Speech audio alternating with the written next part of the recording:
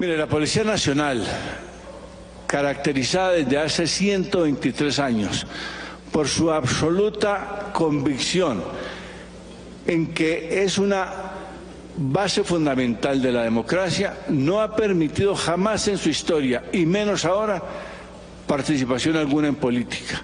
Hemos abierto algunas investigaciones, hay unos resultados preliminares Solamente debo señalarles que cinco policiales han sido retirados precisamente porque hemos llegado a comprobar alguna participación indebida, como nunca será debida la participación política de algún miembro activo uniformado de la Policía Nacional.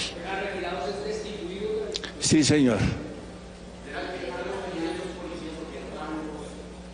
Tenemos eh, debo decirle, en los tres niveles institucionales, oficiales, suboficiales, patrulleros.